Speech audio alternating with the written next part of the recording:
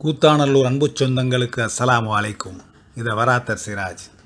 எழுபத்தைந்து வயது இந்திய தாயின் அமுத பெருவிழா என்று பவளப் பெருவிழா என்று இந்த அமுத பெருவிழா நாளில் அமுதகானம் பொழிய வாருங்கள் என்றழைத்த இந்த அமுத பெருவிழா நாளில் அமுதகானம் பொழிய வாருங்கள் என்றழைத்த கேஎன்ஆரியன் தொலைக்காட்சிக்கு நன்றிதனை சொல்லி இது அமுதகானம் அல்ல சுதந்திர காற்றை நாம் சுவாசித்திட உயிர்தானமும் இரத்த தானமும் தந்த உத்தமர்களை போற்றிடும் உரைக்கோவு என்று சொல்லி துவங்குகின்றேன்.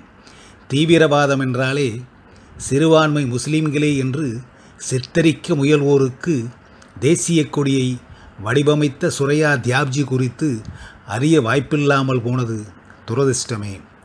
கண்மூடித்தனமாய் கண்மூடித்தனமாய் மதவாதம் செய்தோரெல்லாம் மண்மூடி போன பின்னும் எம்மை அந்நியர் என்று சொல்லித் திரியும் புண்ணியர்களே நாடறியா நவீன பீரங்கி கொண்டு நாடறியா நவீன பீரங்கி கொண்டு பரங்கியரை பரிதவிக்க வைத்த மாவீரன் திப்புவின் வீரப்பராக்கிரமம் வரலாறெங்கும் விரவி கிடக்க அம்மரவணை நீவீர் மறுப்பதேனோ?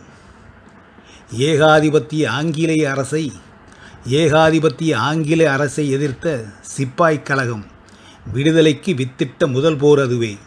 அப்போரில் விகிதாச்சார அடிப்படையில் சாக்காடு சென்றோரில் அதிக விழுக்காடு கொண்டோர் ஏகத்துவத்தை ஏற்றோர் என்பதை அறியாதவர் பலருண்டு அப்போரின் தலகர்த்தர் அப்துல்லா என்பதை மறுத்து மங்கள் பாண்டேயை தூக்கி பிடிப்போரும் அம்மக்களே. பள்ளிவாசல்களை பரங்கியரை துரத்தி அடிக்கும் பிரச்சாரக்கூடமாய் பள்ளிவாசல்களை பரங்கியரை துரத்தியடிக்கும் பிரச்சார கூடமாய் ஆக்கியதால் தொழ வந்தோரெல்லாம் குண்டுமடையில் நடைந்து உத்தரப்பிரதேசத்தில் உயிரிழந்த கதை தெரிந்தோர் நம்மில் எத்தனை பேர் உண்டு? வடமொழியில் கூன் என்றால் ரத்தம் என்று பொருள். வடமொழியில் கூன் என்றால் ரத்தம் என்று பொருள்.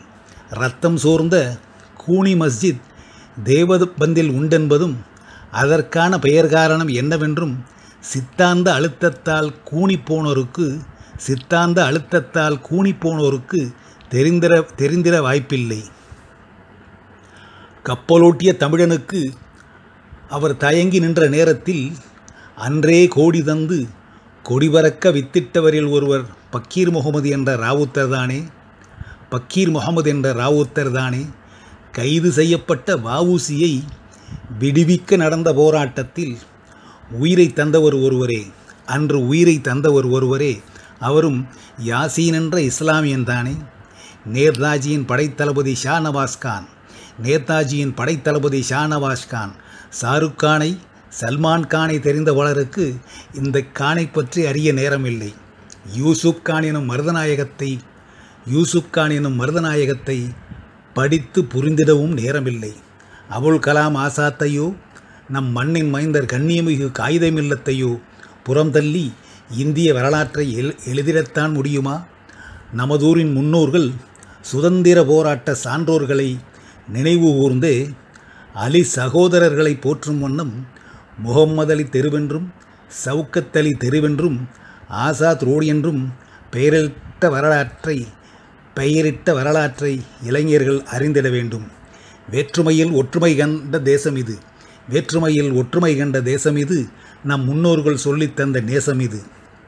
சுதந்திர பவழவிழா ஆண்டில் நாம் எல்லோரும் இந்தியரை என்ற உணர்வோடு மத மொழி பேதம் கடந்து ஒற்றுமையாய் வாழ்ந்திடுவோம். அன்பு சொந்தங்கள் அனைவருக்கும் என் சுதந்திர தின வாழ்த்துக்கள். அஸ்ஸலாமு அலைக்கும் வரமத்துல்லாஹி வரகாத்து